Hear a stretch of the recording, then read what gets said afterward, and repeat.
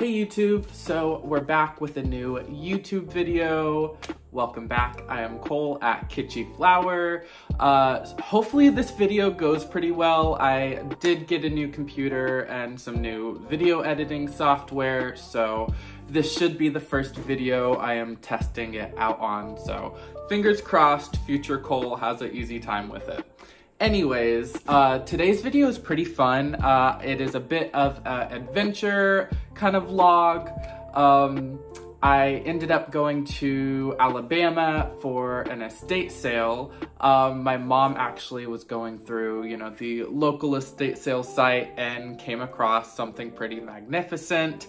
She found a Rushton in a picture. Story before, you know, we get into the footage. Um, I did end up calling the estate sale because they were doing some pre-sale items um, before the sale actually happened. So I did give them a call and then they messaged me back that they were really only doing pre-sale items on the really large pieces of furniture, but um, she did tell me how much the Rushton bunny was, and it was only a dollar. So I knew at that point, okay, I have to go.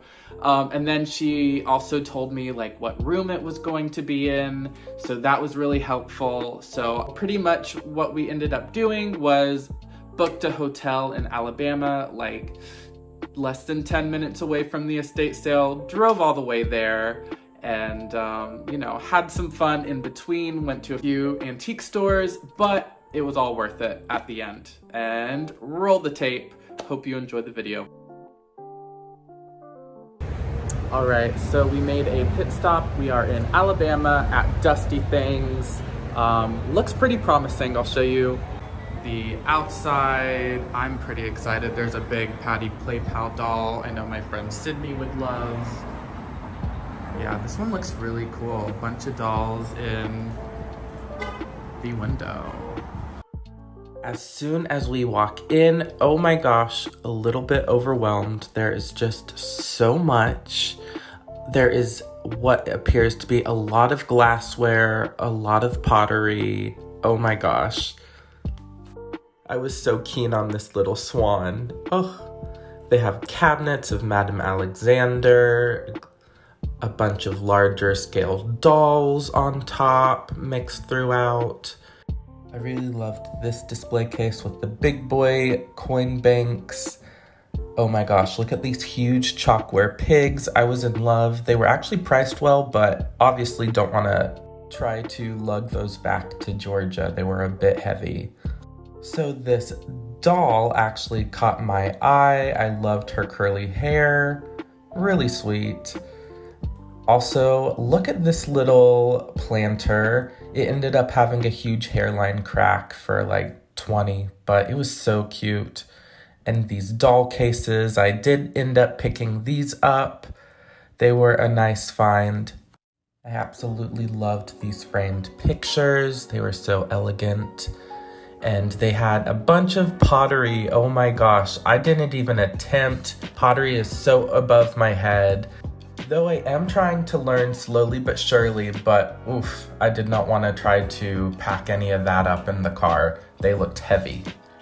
Now I am walking into this little room full of books and kind of more mantiques, I guess you could say. Um, a lot of fun. Like I said, a lot of glassware. Um, they had an abundance of cute planters, Really liked those cute little um, bird looking ones, but unfortunately had some damage on them. And I absolutely loved this candy dish. So sweet.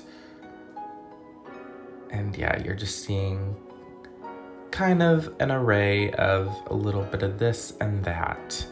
This was quite the narrow hallway. And just two stores over, there was a whole different vintage store. Um, this one was awesome because they had a place to eat where we ended up eating in it as well. A lot of it was more of the kind of farmhouse kind of style, which isn't really my preference, but I can appreciate for sure. Sometimes you'll find some kitschiness mixed in there. Uh, like these raisins, uh, they were pretty fun, and the Lucite grapes, Oof. They really did have just a lot of fun, funness mixed in there. Um, a lot of t-shirts. Ooh, and look at all of these Pyrex bowls. Honestly, a lot of them were at pretty fair prices. Uh, I did love that cute pig bank. And oh my gosh, look at this cabinet. This was just so divine.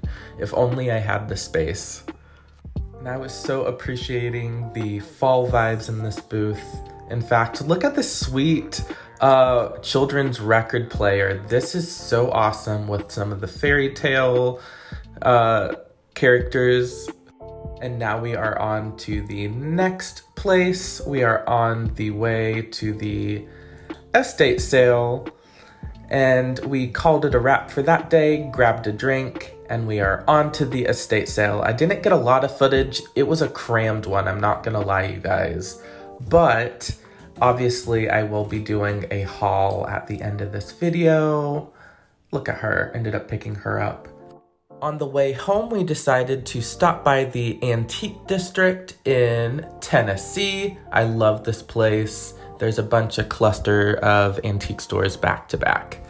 And this one is always very well stocked and very fun to look at. I was loving all of the vintage Christmas, just wait for it. Oh my goodness. Look at all of the sweet finds. Somebody really had quite the collection. So trying to go throughout, I was super intrigued at this head vase. It was just 22, which I thought was a pretty good price. And I'm not gonna lie, at this point of the video, we had been up since 2 like 45 uh, for the estate sale and we were kind of tired. But we kept going, we kept pushing through, trying to find some cute finds. It was just a lot to look at, but couldn't be happier while doing so. I spotted some awesome, creepy, cute clowns. Look at this sweet clown pose doll. He was marked 12, ended up putting him back. He had a little damage, but still just going around. Look at all the dolls, people getting ready for Halloween. I'm here for it. So I actually spotted this sweet carnival doll. I actually remembered I saw her last time. She was $21. Didn't end up picking her up, but I did like this little dog, but he was about $25, so couldn't really make any wiggle room on him for resale but look at this vinyl bank. Oh my gosh, so cool. Next off, we have some Rushton zip monkeys. Oh my gosh, so cute.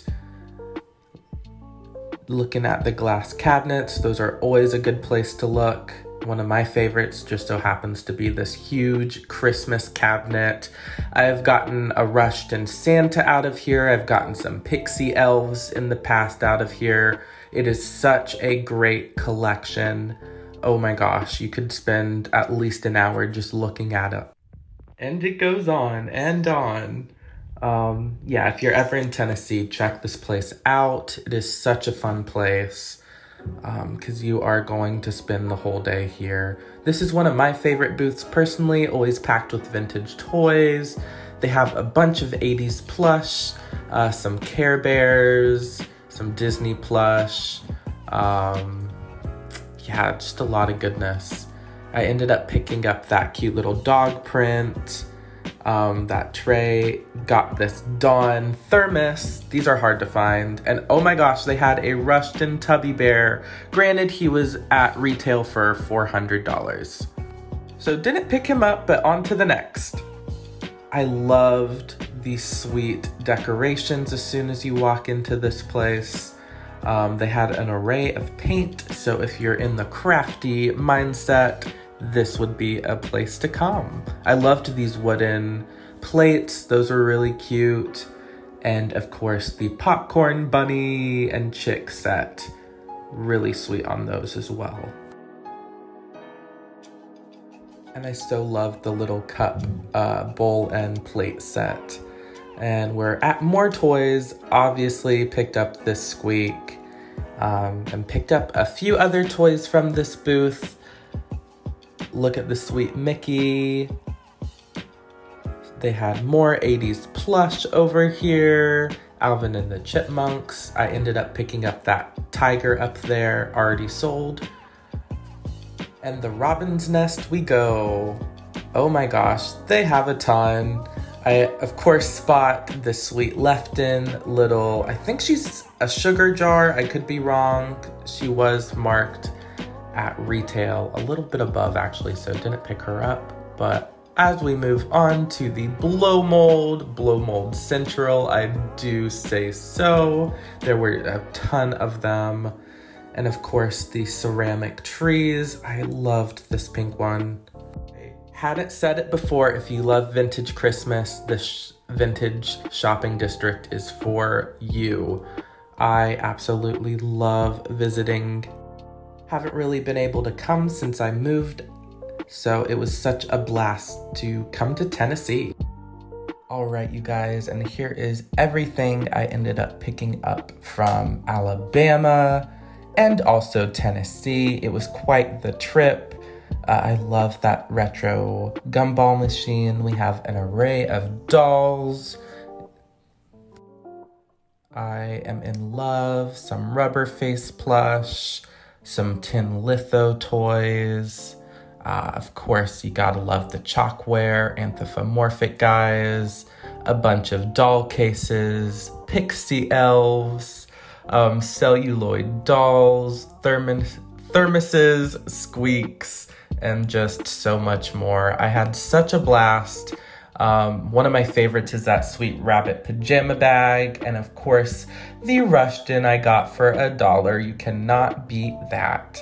Um, and you see Tuesday Taylor, some art prints from the 60s, and just so much more. It was so much fun. All right, and we are at the end of the video. Thank you guys so much for watching. I had such a fun time in Alabama, shopping and going to the wonderful estate sale. Here is the wonderful prize. Uh, the Rushton Artist Bunny I got for a dollar. I have already gone ahead and fixed him up a little bit, um, put some extra stuffing in his neck so his head stood up properly, and then he did have a, uh, a small hole right here that I sewed up. But he is awesome. Um, it was definitely worth the drive, uh, the camping out at 3 a.m. Um, but it paid off. I think we got there at the estate sale at like three, a little before 3.15, and then somebody ended up pulling up around like I think 345. So we ended up being first in place. It definitely paid off. What was so great about the estate sale we went to is um, the lady who was running it, uh, before the sale actually started happening, she asked like the few, first few people in line what they were after. I told her, you know, I was the one who called about the bunny. So she was sweet enough to go pull the bunny, um, for me. The lady behind me was after a tinsel tree, or a foil tree, I should say, um, back in the 60s as well. But um, it was awesome for her to pull the items we kind of already wanted. Um, so then, you know, we didn't have to worry about trying to grab the bunny and we could kind of relax and focus on what else was at the estate sale. Um, everything was pretty much a dollar. There were a few pieces um, you know, that I paid like $10 for, but most everything was like a dollar or $2. Um, it was a great sale. I so want to go back to another uh, Alabama estate sale. It was definitely worth it. Um, I've sold some of the items already in a whatnot sale. Um, but this upcoming Sunday, I do have a lot more items from the estate sale, so hop on over to Whatnot. I do a Sunday sale every Sunday at 5 p.m. Eastern. Uh, link and everything will be in the bio. Be sure you guys are subscribed. Uh, I am trying to heighten the quality of my videos, uh, so I hope I hope uh, you can tell. Um, thank you guys so much for watching. Of course, you can find me on all other social media platforms under Kitschy Flower, insert wherever. But thank you guys so much for watching. It has been such a fun one. Until then, bye.